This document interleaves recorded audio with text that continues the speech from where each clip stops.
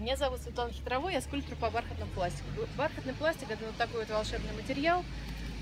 Он застывает на воздухе, не требует обжига, а, легко монтируется на любые поверхности. Также при необходимости вы можете его легко снять. Например, оп, все чисто, ничего не капает, все замечательно. Монтаж очень легкий, до можем делать внутри помещения, то есть а, объем скульптур не ограничен дверными проемами э, входов. То есть мы работали с крупными компаниями, у нас больше 800 положительных отзывов.